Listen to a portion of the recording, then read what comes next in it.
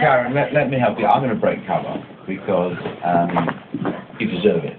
Thank you.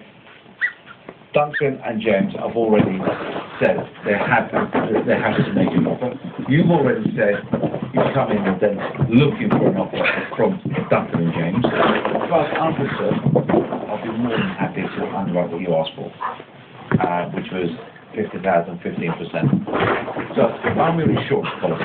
Okay. In a bid to flush out a potential offer from his rival Dragon, Theo Paphitis has shown his hand.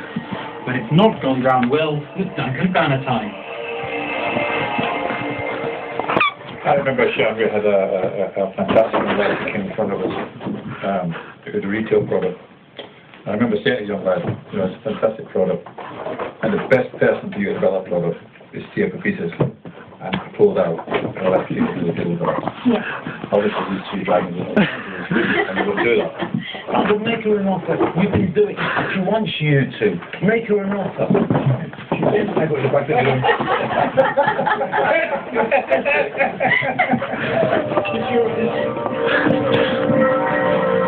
It's a bizarre den moment. Will James Caan and Duncan Bannatyne come back with a tactic Hey, to miss. fox their rivals?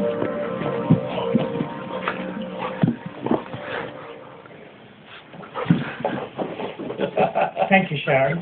Thank you. Who's in charge here? Um, shall I? We, we, we've had a little think. Yeah. We've had a debate. James responded, it's, it's right, and I've done on it. And we'll make you an offer, okay? Um, Sharon, you've come in looking for 50,000. Um, we would like to make an offer for 80,000 um, because to go into America, Australia, uh, and all of that, Yeah. um, to do it properly, Yeah. you know, I think it's better to have a bit more than to have a bit less. Um, but we need 25%. Can Okay. I add anything to that? Um, no.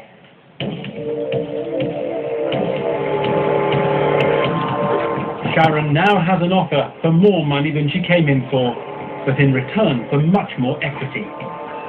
Is Deborah Meaden prepared to take on Sharon's preferred dragons to clinch the deal?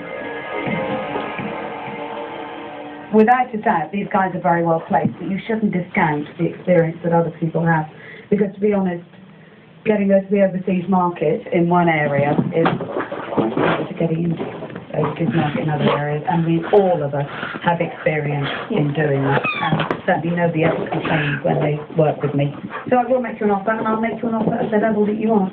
So £50,000, 15%. If we do work together and find that we needed more money in the business, Yeah. I just make the business happen and I provide the funds to do it, as long as I'm convinced um, that it's done. It's a show of ruthless determination from Deborah Meaden. Now, Peter Jones is ready to tell Sharon where he stands.